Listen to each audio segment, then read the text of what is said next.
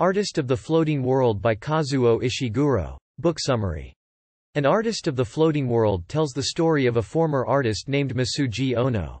Ono is both protagonist and narrator, and he provides a highly subjective account of the events that shaped his career, family life, and reputation, grappling with his past as he tells his story.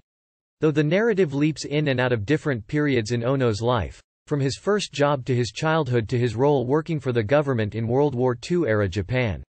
The strongest linear thread revolves around the marriage of Ono's daughter. In the years after the war, Ono works to negotiate a traditional arranged marriage for his younger daughter, Noriko.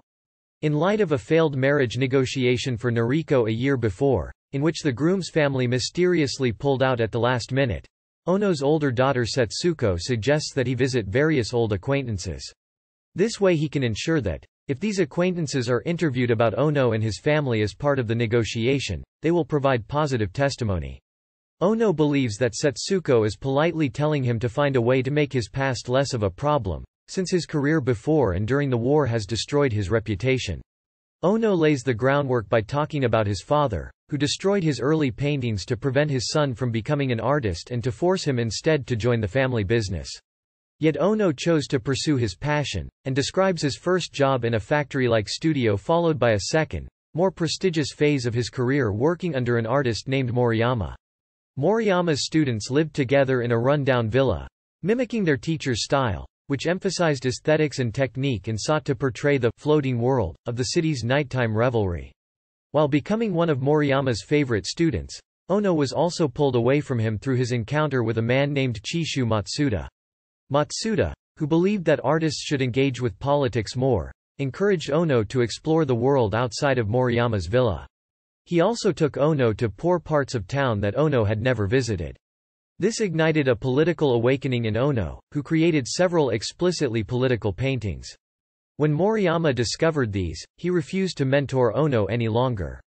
However, the novel tells us in bits and pieces about Ono's rise to success creating art that celebrated the new spirit of Japan.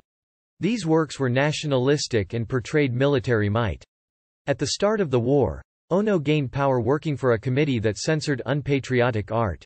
He even reported on his own favorite student, Kuroda, causing Kuroda to detest his old teacher so deeply that he refuses to meet with him years later during Noriko's marriage negotiations. In one flashback scene, Ono watches policemen burn Kuroda's art, in an act that parallels Ono's father's burning of Ono's paintings. However, Ono's rise to power was cut short, since Japan lost the war and American troops subsequently occupied the country. It is from this period that Ono narrates. At the time of narration, he feels bitter towards the younger, more Americanized generation. He suspects that this generation hates his own generation for bringing about the war. He feels guilty not only for betraying Kuroda but for the premature deaths of his wife Machiko and his son Kenji, both of which occurred during the war. At the end of the novel, Noriko has been successfully wed to a reputable man named Taro Saito. Setsuko tells her father that he has nothing to feel guilty about, since his paintings were well liked but certainly not influential enough to cause harm.